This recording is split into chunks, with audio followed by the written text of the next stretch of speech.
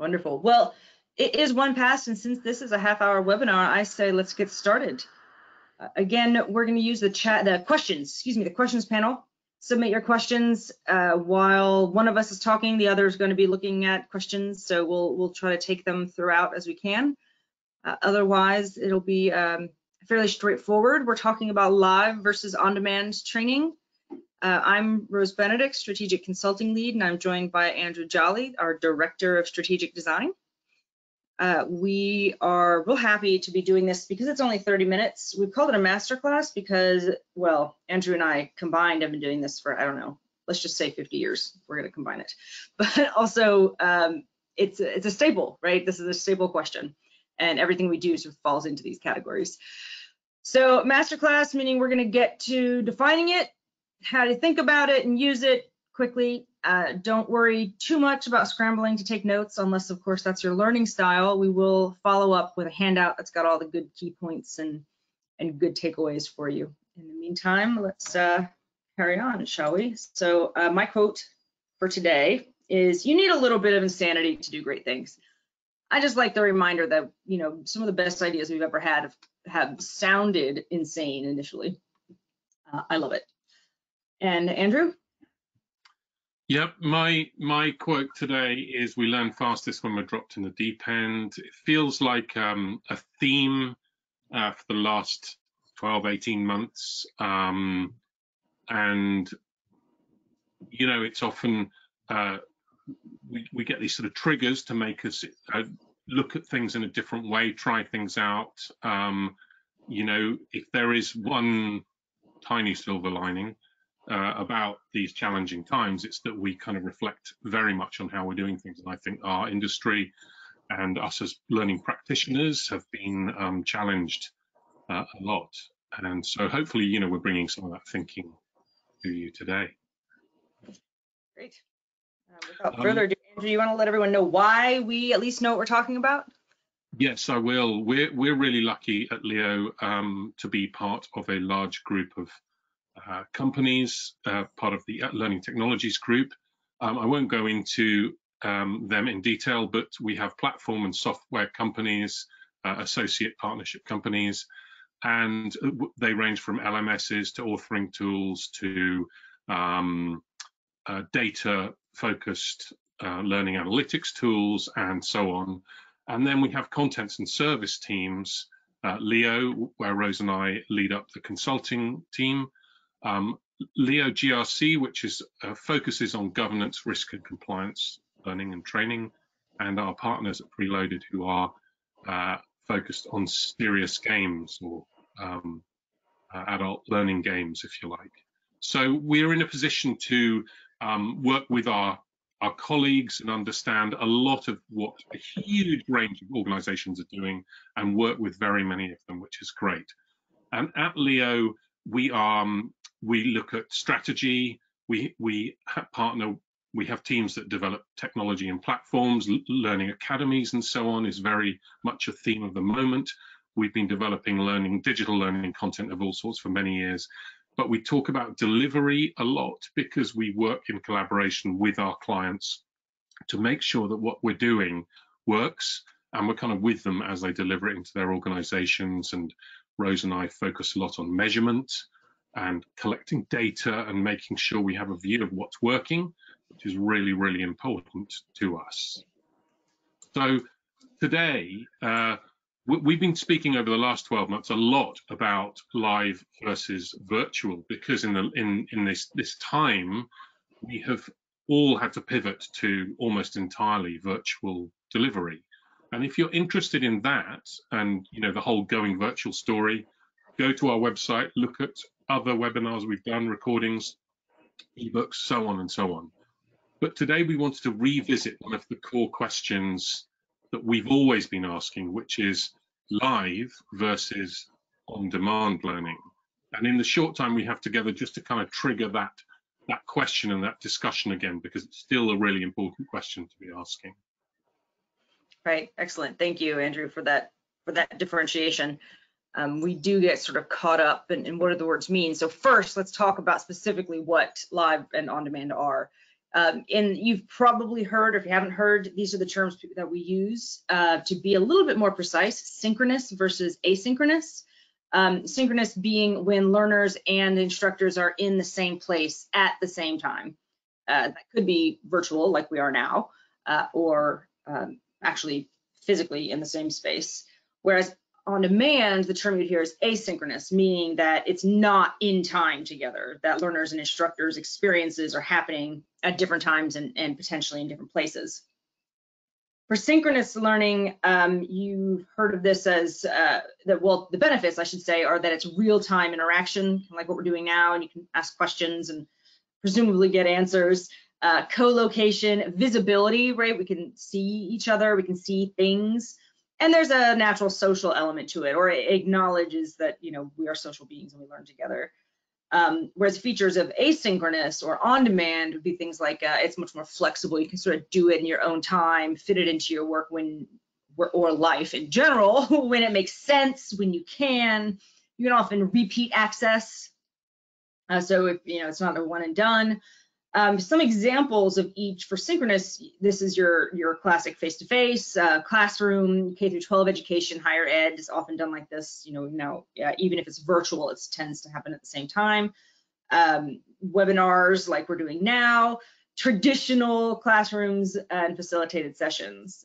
Asynchronous, we think of our classic digital learning, or if you're, you know, older in the field, computer-based training or web-based training, you might have heard it as, but you know, e-learning, anytime learning, online learning, all of those terms, um, that's referring to asynchronous. And we also wanted to point out that resources and references um, and assets themselves can also be fall under asynchronous. So you might have videos or PDF files or whatever it might be, other assets um, that are also part of asynchronous. It's a matter of when it's being, when the experience is happening. Is it happening synchronously with others, live, or asynchronously on your own time in your own uh, in your own sync, as it were?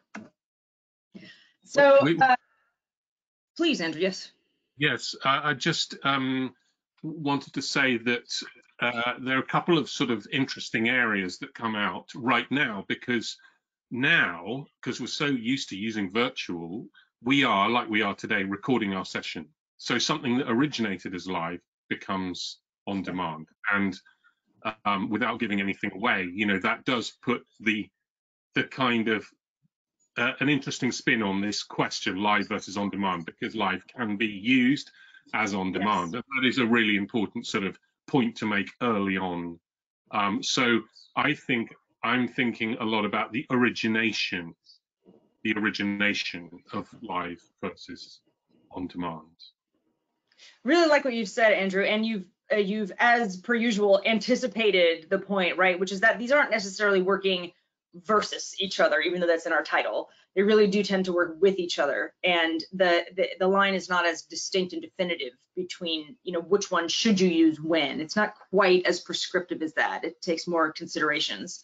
So what we've done um, is compiled the considerations uh, for each ways to think about them. So this is the slide we put together on live, which we sort of captioned as when it's good to be together, right? And that can mean for any reason. It might just be emotional um, or motivational, uh, or it could be, you know, uh, physical, where you need to be touching and interacting with things.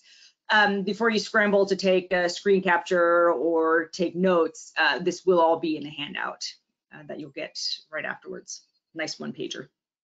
Um, so when it's good to be together. So things to consider are about the learning when you're deciding is do people have to have real-time interaction that can be with each other with experts or even with things um, so when when you have to interact with a, with an expert for example to to get out information and and interview them or or take advantage of the of hearing someone talk about something which you know adds an element that you can't necessarily get um, if you're not live visiting.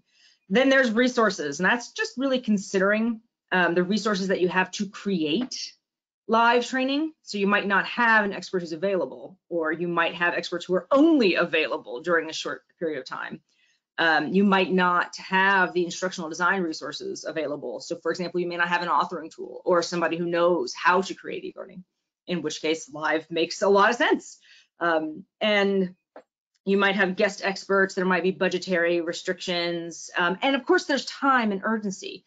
If a message needs to get out sort of quickly, um, there are advantages to doing it live versus on demand. Again, it's not cut and dry. There are reasons to use either, but uh, quite often we think of um, time or urgency in association with a, a live event. Um, and we talk a little bit more about that in a minute. Other considerations are around visibility.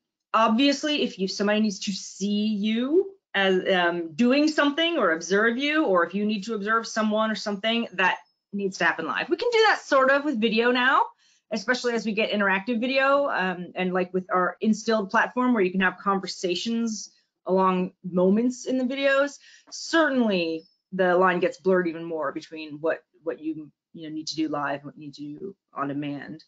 However, um, the one thing that will never really change, I think, in my opinion, is complexity. Uh, if you if you need to make real-time adjustments to the complexity of the information, um, or if you can't anticipate where the moments uh, of difficulty are going to be for the learners, then doing something live uh, makes a lot of sense where it can happen and, and potentially in smaller groups. Uh, location, of course, uh, is the obvious one, physical location, cultural location, so on. Uh, again, what I want to just express is that these are considerations. So when real-time interaction with experts is critical, when there isn't time or budget or resources in general to develop a digital asynchronous version, or when um, the facilitator has to observe, uh, when that sort of complexity interaction is critical, those are all things to consider. It's not that it can't be done the other way, it's that they lend themselves better to live.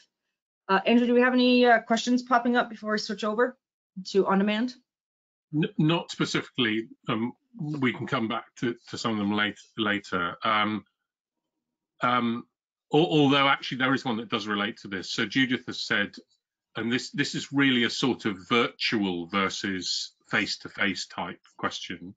Um, what about hybrid classes when you're conducting mm you have some students in class and others online at the same time. So this this is sort of all in the live area. Um, we do have this sort of hybrid thing, especially as a lot of people, as we hope, are going to go back into offices, and suddenly we have these split classrooms of some people in a room and some people online.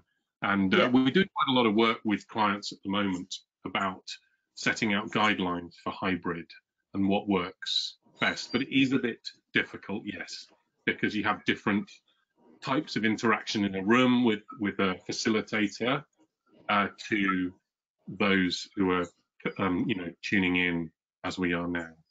Um, so Andrew, uh, you said that the question came from someone named Judith.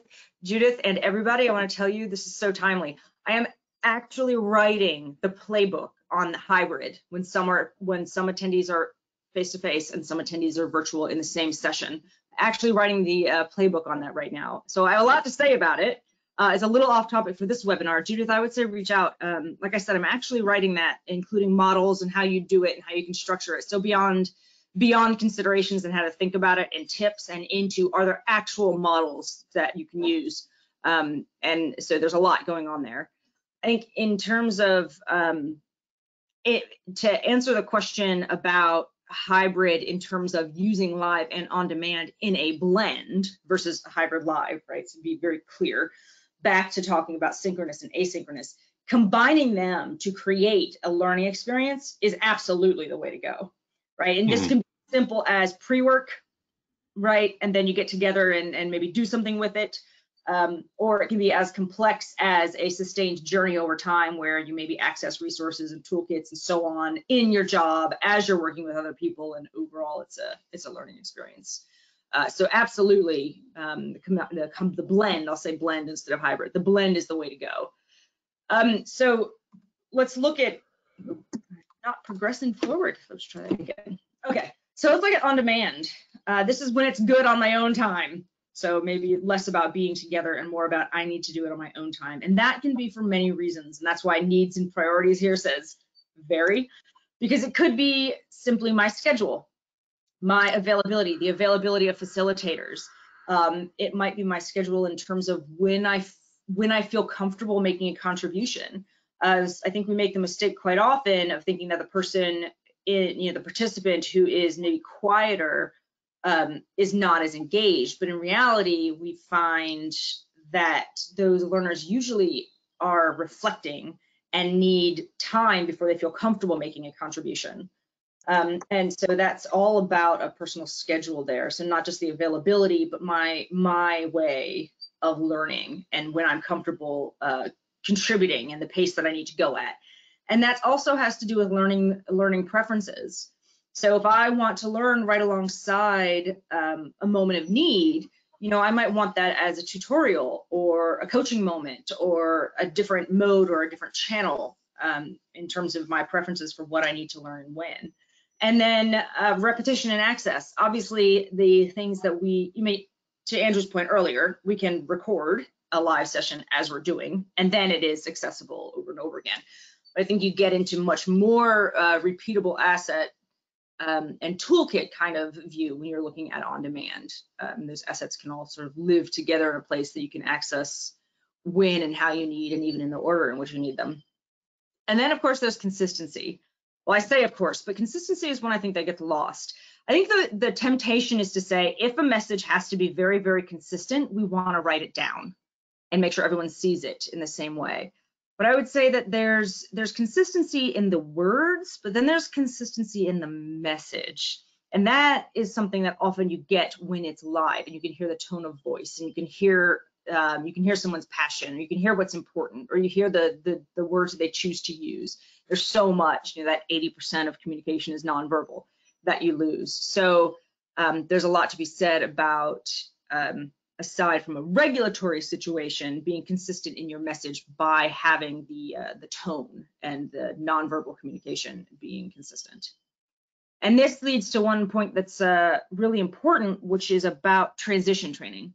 A lot of training that we're asked to do is as a result of a shift in the business somehow. So maybe it's a digital transformation. Maybe it's we've acquired another company and some of our business processes or systems we use are training, uh, are changing, excuse me.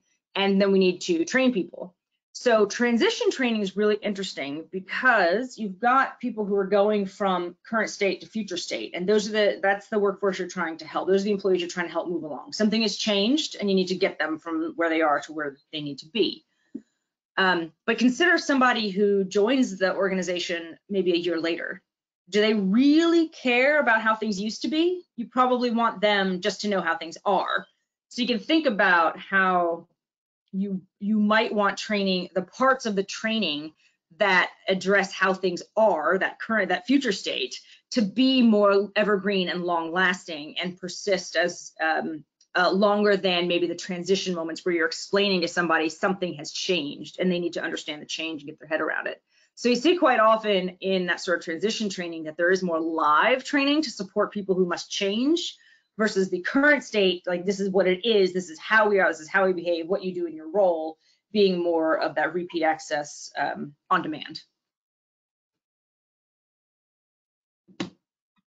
Okay, so then the um, top tips, which I've kind of already said all of them, but let's just make them really short and punchy.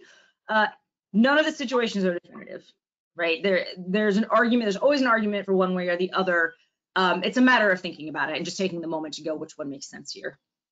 Uh, blends are best. Um, we we uh, gave this session earlier this morning uh, and again right now and in both of them this has come up from participants from ourselves this seems to be a big uh, big critical moment is that um, it's not either or and certainly they work best together uh, and then making selection like like bringing that question of should this be live or on demand as part of your intake or analysis process so this is more of a tip uh, for those who are in an L&D function within an organization and the business might say hey we need this training or we need training on X or something, right? And um, they often say this needs to be an e-learning or so on. But if you make it a question at that moment of, okay, hang on, let's talk about, does this, is this really live versus on demand to make it part of that initial moment um, will really help. And then of course, either can be cost effective. We hear this often. Which one is gonna cost less? What really matters, especially if you're it depends, excuse me, especially if you're thinking about opportunity cost and pulling people away versus having them do it in the flow of work and, and so on. So either of these can be cost effective depending on your context. Any questions before we go into a quick, uh, fun little rapid fire context?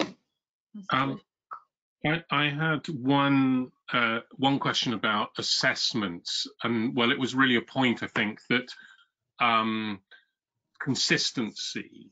Sometimes in assessments and and so on, you want to make sure clearly you're benchmarking everybody in exactly the same way, um, according to the same, you know, it, it, well, same. You're asking the same questions, putting them in front of the same challenges and so on. And so maybe in that context, then on demand, uh, some sort of tool to present precisely the same situation to each learner is is the one to do. But it doesn't necessarily. You could. I mean, you could do it at the end of a classroom uh, face-to-face session. You know, you could you could fit it into a blend, couldn't you? But that kind of consistency is really important sometimes when you're um, certificating people and assessing them for sure. Yeah, that's a that's a really good point. Um, assessments, I think we tend to, especially in a in a regulatory kind of situation, we tend mm. to uh, want the assessment to be proof of, you know, somebody has seen these words and they can spit these exact words back out at me. Um, when assessment through observing behavior is actually going to be more rich and actually get you where you need to be um, and where employees need to be better. Uh, mm. that I think that's a little bit of common sense, but we do get blinded by an audit trail or needing to prove that some specific words uh, somebody can regurgitate them. So it's uh, again, there's there's the context. Yeah. Back to context being critical. So rapid fire context. I'm going to take us away on this, Andrew. Yeah, sure. Um, so uh, what Rose and I just wanted to do was was uh, pull up a few examples in the in the minutes we have and just um, see what you think. So uh, we we we get involved in a lot of compliance learning. In fact, we've just been talking about that. So is this a, is this a live or on demand opportunity? Do you think anybody can put uh, put their answer into the questions pane? Um, so we have Leah saying on demand. Um, what what did we put, Rose, here? We, we put on. Agreed. Yeah. Um, well, why is that? It, there is a consistency issue. Also, in an organization where we need to know that a thousand plus people have have done some really important piece of learning and been assessed, um, we, we need to have them potentially do it um, at a time convenient to them um, and we need to know they've done it and that they've had this consistent experience. Um, so a lot of our learning is um, compliance learning is on demand. But does it have to be? Well, if we're talking about genuine behavior change um, and we want people to consider their, their attitudes, their practices in, in, in work, then maybe live sessions is much more um, what we should do we should be we should be discussing collaborating talking around what it feels to be um, you know to be in a, a, a, situation in in our in our business our working life and how to deal with that so you know on demand isn't always the answer yeah, we've got Terry um, in the in questions saying I would have chosen blended. And Terry, you're you're again you're anticipating us. That is sort of where we're going. Remember the top tips: blend is best. Um, how about uh, communicating a new company strategy? How would you think about this one? I've got some saying live. Yeah. Live. Yeah, I agree with that. Um, I think e-learning for communicating a new company strategy might look a little silly. Uh, this is where the tone of the message and that nonverbal communication is really important. This is also where, uh, in times of transition, I think we get you'll find a lot of organizations get a little scared about putting something in writing because it's still in flux. So to communicate the fact that things can't be nailed down yet, right? It makes sense to do that in a live situation. Now, could you do it on demand? Of course. Video the CEO talking about it, or bring in your expert and, and have them help you write a so on, right? So of course on demand can be done. Um, again, blend is best, but I think when you're, you know, you're thinking about nonverbal communication and the complexity of things and how how long lived something might be, um, then yeah, it makes sense to do this in a live situation. So uh, what about a situation where we have new processes that have been documented and we need to communicate them and explain them by role um, to uh, within an organization? Any thoughts on that?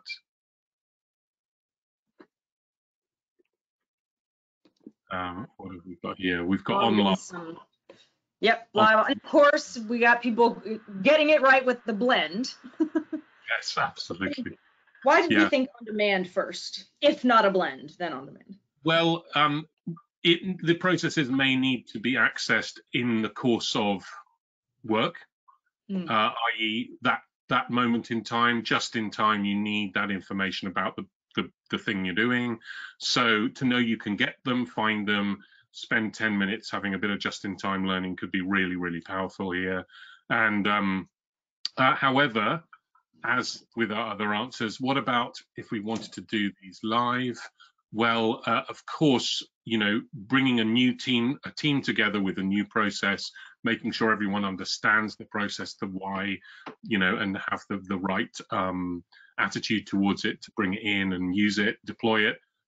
Best done perhaps with a live session. So blend is the right answer, Leah. I, Yes. All right, let's try one more. Your customer, you have a customer experience specialist, but she's only available for a day. What do you do?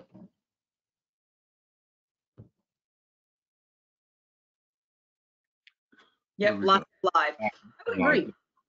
Live. Um, of course, uh, blend is best. Don't worry, blend is best. You're going to see if you've ever uh, attended any webinar, anything, we always talk about blends are best, and it's in the top tips and so on. What we see actually here, people saying live and record. I would agree with that. You have a live session, so let's take advantage of hearing that person talk about it and then have it recorded uh, so that it is available on demand and perhaps even can spark conversation. This is where you get to have fun with the blend, right? And say, well, we've got it recorded. Why not, you know, uh, ask people questions in forums or allow them to comment on it and see and sort of see what comes up. Uh, so absolutely. Um, the the point being that the blend is best, but some things do context-wise lend themselves more to one or the other. Um, one thing that we did, uh, experimented, played around with this, uh, speaking of a little bit of insanity, my quote at the beginning, to do some really cool things. Um, a couple webinars ago, we said, you know what, at the end of it, I think it was on measurement, come tell us, like, let me know what you're doing with this right now. And we had some amazing conversations. And so I'm asking you to do that again. Um, talk about your context, shoot me a note and say, hey, here's how I'm using it, or I've thought of it differently, or I would have said that differently from you, or here's how I'm doing it, this really helped, um, and see what kind of conversations we have. Uh, and I know that's my email, but don't worry, I'm constantly going to Andrew and saying, hey, this came up, can we talk about it? So uh, lots of cool stuff. We also have other goodies coming out. You will, I'm sorry that Phil, uh, Philip left, I saw him leave, but he asked the question, what kinds of things do we ask in order to get at whether something should be live or on demand? The handout that you're gonna get in the follow-up email um, has all of those considerations written sort of as questions, like when this is happening or when this is happening. So you'll get some good uh, intake questions there. Along with other goodies is we have a new ebook that just went out. Look for it on leolearning.com in our resources section.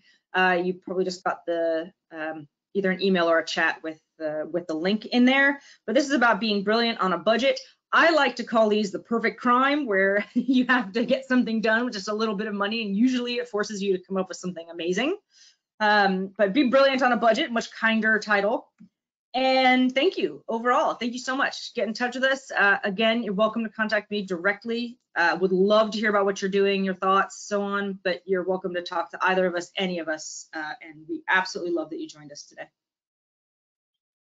Yeah, thank you. Thank you from me as well. Um, my email's there for anybody who needs it. And if anybody wants to stay for a couple more minutes or there's a question you haven't um, asked and want to ask, Rose and I will hang around for five minutes or so, I, sh I should think. Um, Yes. I I just thought of something, Rose, which is um, we've been doing this extraordinary uh, sort of enterprise-wide quiz game called Genius. Oh, Uh, yes. Yeah, where where people uh, download an app onto their phone, and um, they have a number of questions around a topic, say product, you know, product training in their business. They are playing a quiz against somebody, so it feels like it's live, Mm, but it isn't. So that the reason I'm I, I'm bringing it up sort of after our half hour is because it's a sort of fake live. yeah. Um, it actually feels like a live quiz against a person in the organization, and yet it is not completely synchronous. Um, and the reason that really, really works is because there is something live about a sort of sense of competition. You know, Hmm. just doing just now, where we're all we're asking a question and people are answering, or you could do a poll, um, or you could do a quiz and stuff like that. You get the competition of being up against people in a live context, uh, but which it is also re- feels like it's always available. yeah. So it gets that I fits like, you know, both worlds. yeah, I love that, Andrew. Actually, you know what you just made me think of is I have this quiz game on my phone. I think it's called Trivia Royale. I obviously I'm a sucker for a good trivia game, and I think they're doing the same thing in that, where it appears like I'm playing somebody, but it's actually somebody who's filled in those answers previously, and now they're just making it feel like they're answering at the same time. And I, until you said that, I don't think I realized that that's a great example of faking it. Hmm. Hmm. It's a very compelling way to do it. Um, you're right. Yeah, the product genius um, that we created does that. That's just fantastic. It, it works in a game in a game context. I mean, that the whole. By the way, you know, let's, um, we are doing a um, a webinar with um, some colleagues in about um, less than a month um, about games, and one of the big things there is multiplayer Mm, because games now have become, uh, you know, mul- multiplayer consumer games and learning games are really following closely now. Um, so there's a lot of opportunity for live gamified learning as well. yeah, It's a whole other topic. whole other topic. I mean, that's such a nice confluence of social learning, which is how we learn in general, um, Mm. and and live and on demand all at once. I just I love our industry. We come up with amazing stuff like that all the time. Um, wonderful. Well, thanks for hanging on um, a little bit longer, everybody. And we'll definitely I'll be looking for email. Um, and we'll see you in the next webinar. We hope. Yeah. Thank you, everyone. Bye.